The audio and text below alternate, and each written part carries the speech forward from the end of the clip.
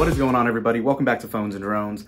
All right, iOS 16.4 Beta 1 is now live as you can see here. We're downloading it. Looks like it's finishing up right now.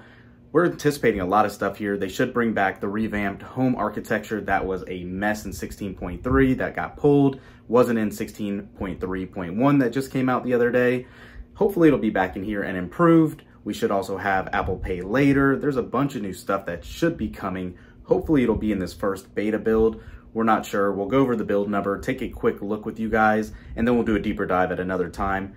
Make sure to thumbs up this video. I'm excited to get into this. We haven't got a beta in about a month now or so, so excited for this one. Let's go.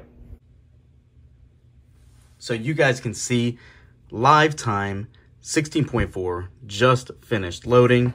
Let's go ahead and unlock this baby and check it out. All right, so first things first, everything is obviously pretty fluid. Let's hop into settings, go into general and about, and you can see we're running 16.4. The build number for this baby is gonna be 20E5212F.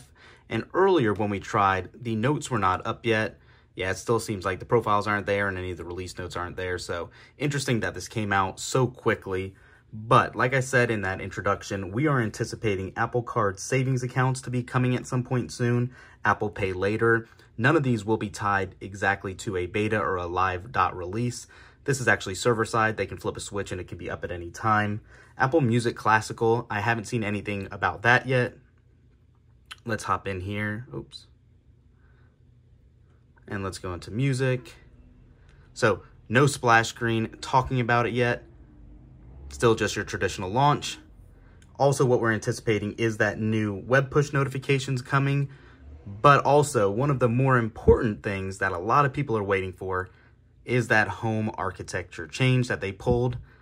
Let's see if that is back here now. If we go into home and home settings, and there is a home upgrade available. Home has a new underlying architecture that will improve the performance of your home. You can go to learn more, continue, and you can see the whole breakdown of what will be done and what will need to be updated via a uh, software update first. So we'll go ahead and activate this.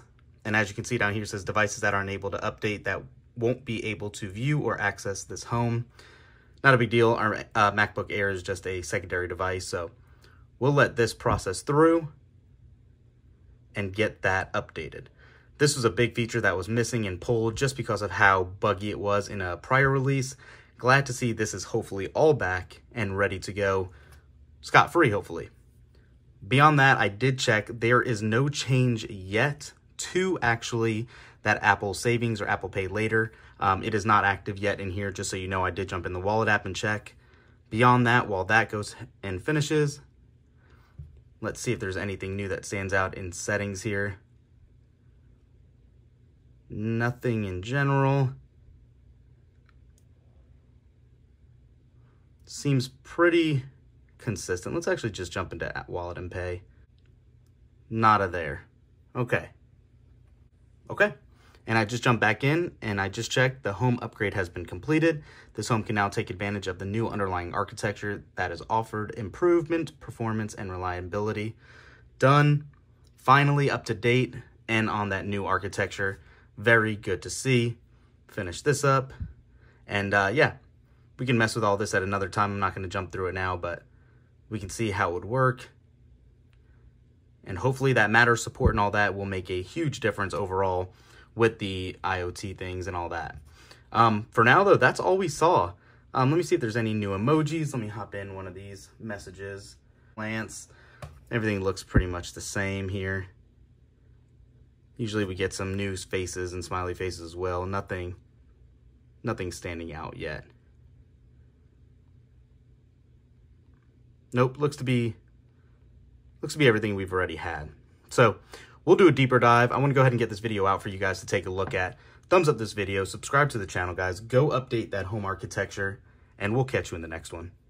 Peace.